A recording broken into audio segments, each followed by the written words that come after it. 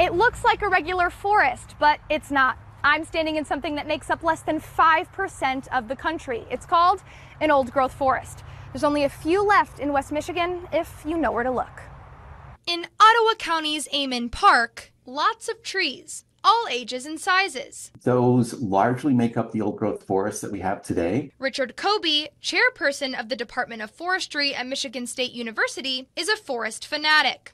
My background in, in research is in forest ecology, and I'm very interested in how forests will, will change over time. He says that old growth forests are rare because at the end of the 19th century, most of them were cut down during the boom of Michigan's lumbering era. The forests are rare because of um, our history of interacting with the landscape. Few old growth forests escape the clear cuttings and can be visited today. But Richard Kobe reminds us that doesn't mean that they've never been touched by humans. Old growth forests are not only nature's version of a holy grail, they provide a very important benefit. Those old growth forests also store a, a lot of carbon. More than half of Michigan is covered in forests. These trees, larger than life, they offer, dare I say, a rare look into the past. If I'm in the vicinity of an old growth forest, I, I definitely would would drop in to see it. And they make for a pretty good walk in nature.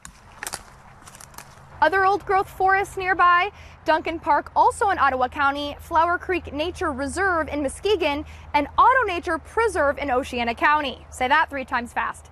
Enjoying this splendor of a rarity, Olivia Yatuma, Fox 17 News.